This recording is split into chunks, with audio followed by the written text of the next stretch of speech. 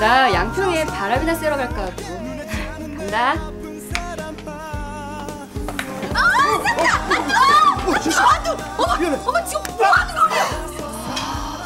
소은이 정말 예쁘시네요.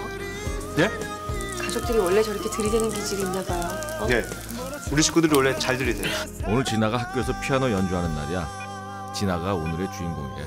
나 아직 가평이야. 진아 연주회 못 갔어. 나 여기 왔어요. 뭐 어디 있다고? 진아 학교요.